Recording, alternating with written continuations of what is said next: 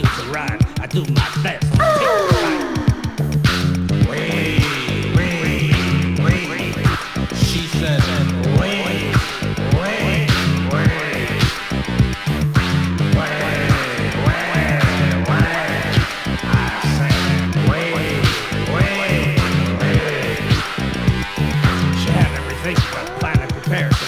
Truth, I really was scared that my digestion was not up to snuff. I wouldn't be able to handle that stuff.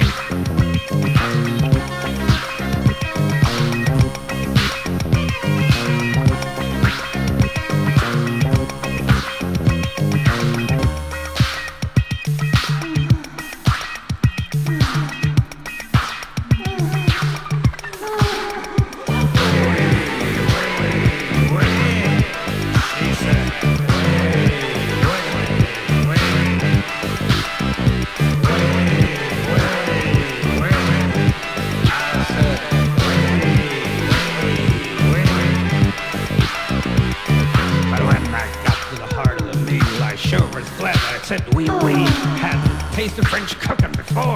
So I finished.